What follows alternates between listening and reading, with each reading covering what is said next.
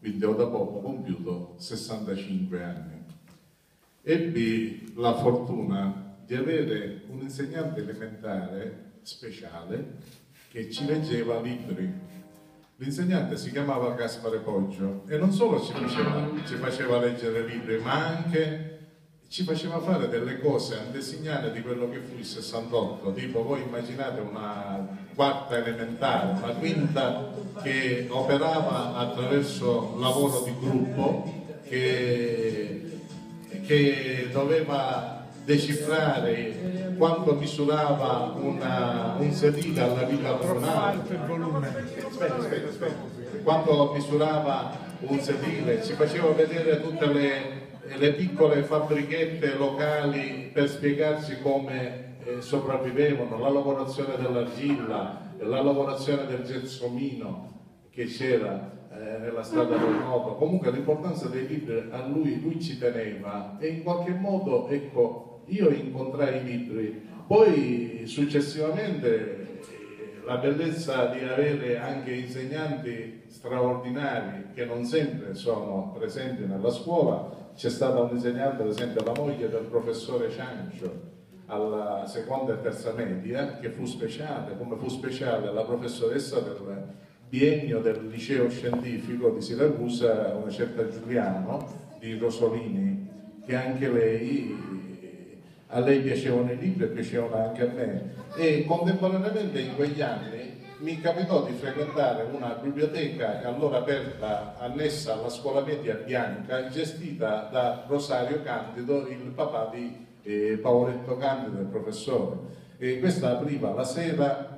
dalle 6 alle 8 all'incirca e io frequentavo questa biblioteca antesignana di quella che poi è stata la biblioteca per davvero, la biblioteca comunale di Avola e lì i libri non venivano prestati, si potevano leggere solamente lì, si entrava alla scuola media attuale bianca, sulla sinistra era la seconda o la terza classe adibita a questa funzione di far leggere chi volesse eh, lì stesso e a fine di ogni anno, come se fosse stato un vero e proprio anno scolastico, questo incaricato di, che lavorava al provveditorato con questa funzione, eh, Rosario Candido si chiamava, di far leggere i ragazzi, alla fine ci regalava dei libri, fra cui ricordo il Leonardo, che era una sorta di calendario Atlante De Agostini, dove c'era di tutto informazioni sul, su com'era lo Stato italiano, su quali fossero eh, so, il governo, le distanze chilometriche fra una città e l'altra, i treni, gli orari dei treni, i costi, eh, le, le, spedizioni postali. Voi immaginate che era una, sotto ogni punto di vista con un volume di quel tipo si risolvevano i problemi ordinari di ogni famiglia consultando solamente questo Leonardo che usciva ogni anno aggiornato in tutte le questioni che meritavano essere aggiornate. E in quel periodo mi capitò di, mi capitò di partecipare a una specie di eh, attivismo sportivo che era dell'Unione Italiana Sport Popolare, l'UISP. L'UISP esisteva solo ad Avola relativamente a tutto il resto del meridione. No? Aveva questa sede d'aula perché i fratelli d'Agata ne avevano creato, Gaetano d'Agata e Libero, una struttura e faceva, si faceva la giornata olimpica. E, e lì io conobbi una valigetta che era dell'organizzazione che conteneva dei libri. L'importanza dei libri nel Wix, questa è una cosa importante e che, che, poi io ho utilizzato anche sotto il punto di vista sportivo perché mi occupavo eh, con successo di, eh, di, lanci, lancio del peso, del disco, del martello e del giavellotto e c'erano le pubblicazioni che spiegavano l'arte migliore per avere successo nello sport e io fui anche campione provinciale di lancio del peso per esempio. Tramite i libri cominciai a capire che si poteva trovare le, si potevano trovare le risposte su qualsiasi argomento e cominciò in questo modo la, eh, naturalmente questa cosa, i libri, ecco c'era una volta il libro potremmo dire, no? Mi capitò in quegli anni di incontrare Corrado Barone, Corrado Barone era un altro fissato con i libri e voi immaginate che all'età di 17 anni entrai a casa sua e lo trovai seduto a un tavolo con la madre, il padre senza un braccio che era stato mutilato nella seconda guerra mondiale e il nonno di Corrado Barone che invece apparteneva alla prima guerra mondiale, tutto curvo, che ascoltavano Corrado che leggeva letture improponibili secondo me per quei lettori che lo ascoltavano e che erano Musil, La montagna incantata, eh, eh, Thomas Mann, eh, Joyce, l'Ulisse di Joyce e Corrado leggeva questo tipo di letture e tutti quanti erano incantati probabilmente dall'eco delle parole o dall'atmosfera che Corrado riusciva a inculcare al nonno della prima guerra mondiale e al papà della seconda guerra mondiale. No? Corrado Barone era attaccatissimo ai libri. Io non ebbi tanti libri a scuola, era l'epoca che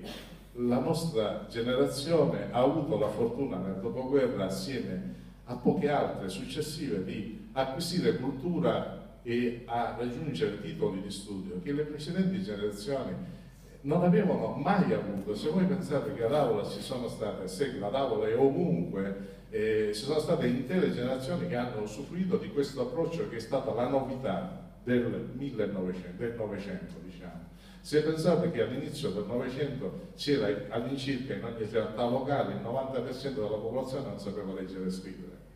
eppure prestavano molta più attenzione alla scrittura, degli altri, quelli che, che riuscirono a poter farlo. Tant'è vero che avrete, ricorderete che allora bastava dire io ho avuto la quinta e era come dire il diploma.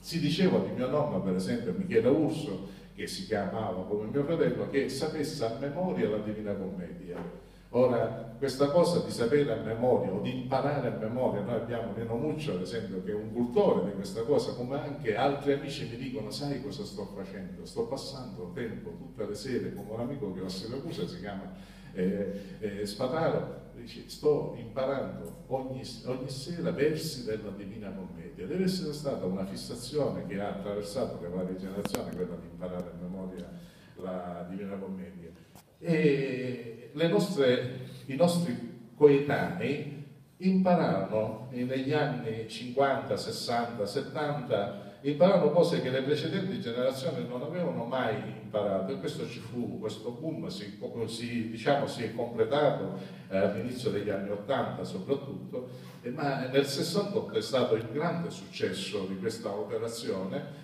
e nel 68 accadono tanti mutamenti, fra cui anche la grande circolazione di libri dovuta a questa esigenza di volere, di sapere eh, sem sempre di più.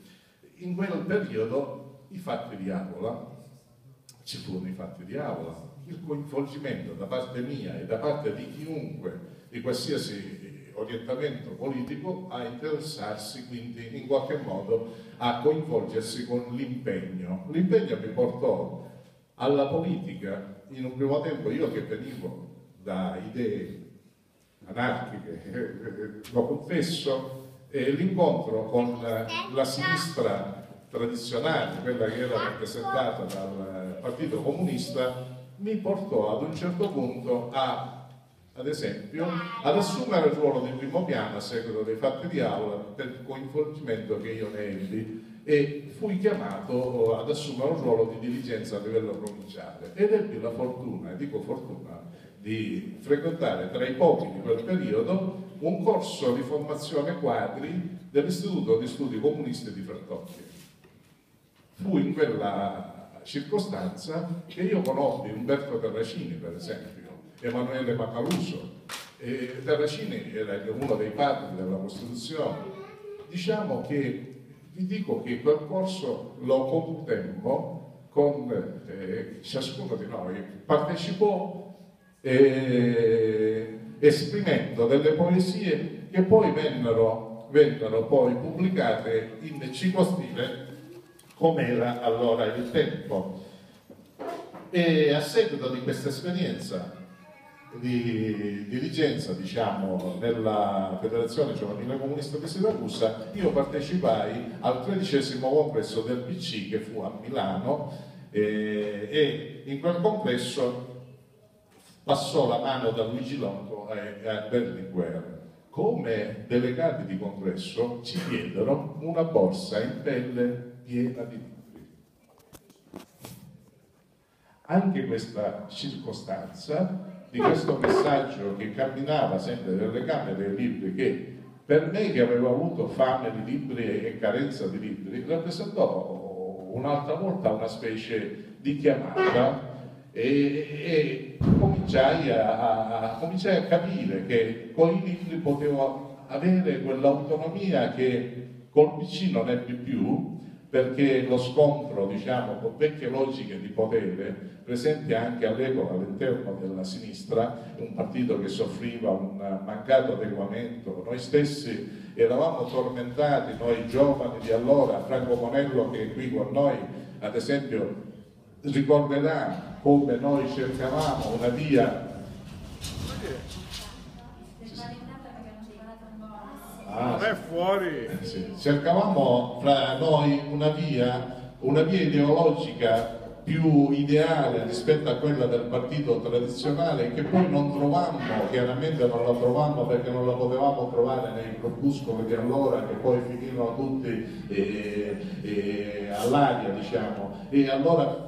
allora incontrammo tutte le rappresentanze, quasi tutte, autonomia operaia, servire il popolo, potere operaio e, e mi ricordo ci incontravamo a casa di Franco nel corso qui eh, Vittorio Emanuele, come si chiama il corso principale? Sì. Eh, di aula ci incontravamo proprio alla ricerca di... Ci dovessero della... prendere per sovversivi. Sì, si presero allora per sovversivi, anche questo dire esprimere anche questo tipo di etichetta che potrebbero darci ora e che ci diedero anche allora all'interno dello stesso PC, perché noi allora eravamo, ora l'etichettatura e soffrire di etichettatura è stato, parte, è stato un problema per, eh, per chi ha vissuto in forma eh, libertaria. Eh, l'etichettatura negativa, fra l'altro, o per cercare di capire con chi avevano a che fare. All'interno del PC si chiamavano maoisti, eh, fuori eh, nei corpuscoli, io mi ricordo quando incontrai eh, Adorno, Adorno mi disse, non so che cos'ero io del PC, non so cosa rappresentavo per lui, era la forma più negativa della sinistra, eh, Mario Adorno, come si chiamava? Mario si chiama, sì. sì. Poi, questo tipo di, poi i cattolici, non vi dico cosa ci ritenessero, i, quelli di destra, eccetera, eccetera, ma questo fu... Comunque, man mano, eh, lo scontro col PC mi portò a capire addirittura che era possibile una via autonoma eh, per la dignità. Allora già a 20 anni, 22 anni si riteneva maturi per non più sottostare, non è come adesso che 40 anni, 50 anni i ragazzi sono a carico delle famiglie. Allora diciamo non c'erano grandi risorse e quindi bisognava darsi da fare eh, autonomamente per trovarsi un destino e mi ricordo che mi dimisi da segretario provinciale di quella federazione giovanile comunista e mi misi a lavorare con un'agenzia di libri collegata al PC che si chiamava la Dias che distribuiva Editori Riuniti, La Terza, eh, Boringhieri, De una grandissima casa editrice De Donato che fece il primo libro sui fatti di Avola, si intitolava L'ordine manipolato. La Boringhieri aveva i libri scientifici più speciali che ci potessero essere in quel momento, faceva concorrenza solo una collana che c'era all'interno degli editori riuniti che era prodotta dall'Accademia delle Scienze dell'Unione Sovietica Immaginate a proposito di questo